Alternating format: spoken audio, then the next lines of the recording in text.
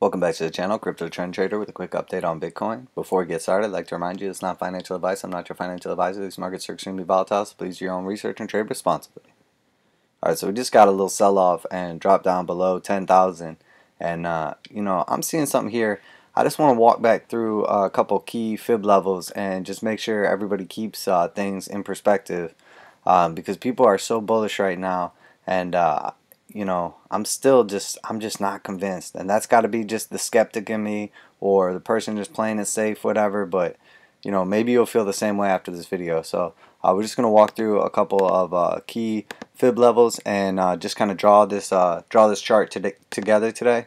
So um, we're going to come down here uh, to the low uh, at 150. We're going to draw our first fib all the way up to the high around like 20,000 there, okay? And that one's going to be in blue. And you'll notice very clearly that after we sold off, we came down, found support at the 236, and then we capitulated, we came down to the 382. Alright, and then we got the bounce up, came back down, found support on the 236, and then we got our move up now, okay?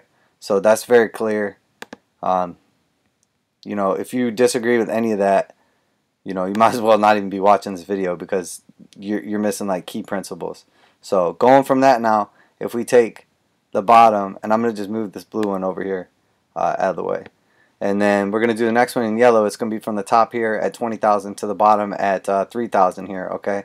And you'll see that we moved up and we made it all the way up to the 786 and then we sold off, came down to the 0.5, bounced up to the 618, found resistance, came back down below the 5 to the 382 exactly. And again, you know, that's very clear on here. You can see very clear interactions on the weekly time frame, which is, you know, significant time frame. So now when we bounced up here, we made above the 618, and then we sold off here, we just retested that 618. So we're just trying to find support now back in this zone, in that descending triangle that we were in forever when we broke down, retested, got rejected. We crept all the way back up. And now we're just trying to find support in that zone. And if we don't, this is going to happen again. This exact same thing is going to happen again if we don't. If we do, we'll probably consolidate here and then move up and then the next thing we would do is test the 786 so that means 13,184 is our next target to the upside. And that means that 7,881 is our next target to the downside okay? So that's our basic fib levels from there. Now let's draw our next one. So that's going to be for this move here up to our top and you can use the wicks for these or you can use the the bodies whatever you want to do. I'm not trying to overcomplicate things. I'm just trying to keep it simple for this. So now you can see for the move up here again we went all the way to the top and when we sold off here we came down to the 0.5 in green. And then we bounced up. First we hit the 382 bounced back to the 236 and then we came to the 0.5 and again undeniable on the weekly so when we bounce off this 0.5 here, we consolidated, bust through the 382, and then we got the move up to the 236, which again lines up perfect with the 618. That's where we're finding support now. So again, based on this, if we come down here, that's going to line up perfectly with the 0.5. Okay, and then this pretty much lines up up here too. So we can see our next targets are very likely going to be one of those two points. So we're at a key pivot in the market, and you know essentially can manage risk off of this area very easily. Okay, so we made it all the way up to here let's keep doing this. Let's keep fibbing this thing and let's see what happens. Okay?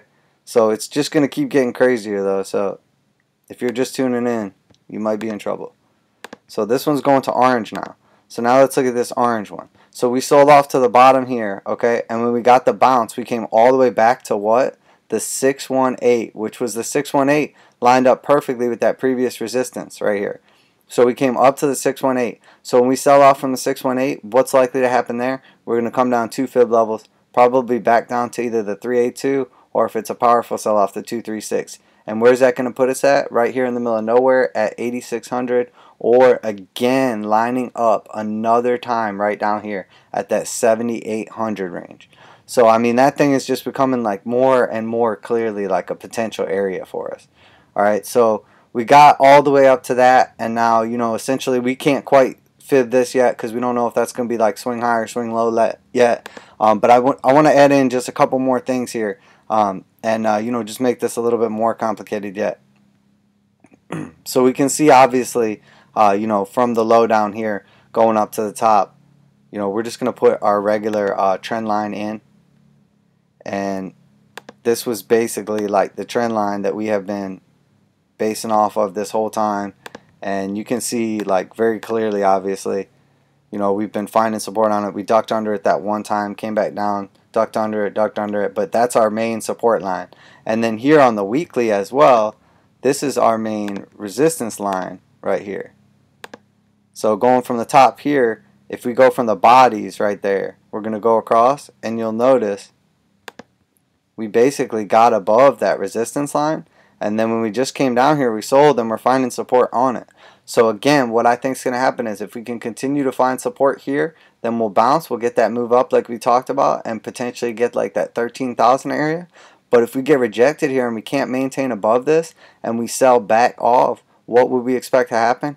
Come down here to that long time support area and the bottom of this little triangle that we're formed and kind of wedged in here and that's going to put us right there around the same area like the high 7000s uh, low 8000s so you know don't don't zoom in here too much. Don't lose um, you know sight of where we're at here uh, because you know it's easy to just do like an extra little move up here and have like a little week of continuation or whatever and psych people out and everything and get people to go all in and long and essentially like long the top and then we sell back off here and get like that main retracement. But just look at where the confluence is and where this is all lining up and everything. And uh, you know I think it'll be very clear to you uh, you know that we may be in danger here potentially in the near future uh, that we need to be like you know paying attention to that. And uh, you know if we look at like the weekly and everything it still looks good um, on our indicators. And then switching over to uh, the daily you know we did get the sell signal hard sell at the top right here. Uh, so we'll see what happens in this situation. Um, we're still uh, honestly uh, curled to the upside on the indicators for now but again they are lagging so uh, we don't expect them to like tell us ahead of time necessarily. But what we're looking to see what happens is something like this where we essentially like couldn't find support after the breakout and then it sold back off and it would be like violent continuation so it's not just going to happen like in one candle but you know we're looking for like a key fib retracement and that's where like this zone right here you see how all this is lining up in one area you know that's a likely area that we're going to come down and test. You know we will see reactions off some of these other areas but when you see a bunch of the fibs lining up like this and you start getting like that thick line all in one spot that's how you know like that's a strong support area or strong resistance area. Um, you know and look for like direct interaction between those areas. So uh, I'm going to go ahead and uh, make this chart with the indicators and everything uh, public in the description. So if you want to use this add on to it uh, or actually just use it I don't think you can modify it but uh, you're more than welcome to uh, do so, and the indicators will be available as well. Uh, and this is not financial advice. I'm not your financial advisor. These markets are extremely volatile, so please do your own research and trade responsibly. Uh, crypto trend trader, and uh, be careful because it's starting to look like uh, we're going to get that continuation now um, to the downside as we're starting to lose like key levels and potentially retest like some of these key Fibonacci zones. So um, protect your capital and uh, don't jump into any uh, like FOMO trades. You know, be responsible in this situation, and uh, you know, remember that dollar cost averaging not always the best idea in a downtrend, but dollar cost averaging in an uptrend is you know not necessarily a bad strategy.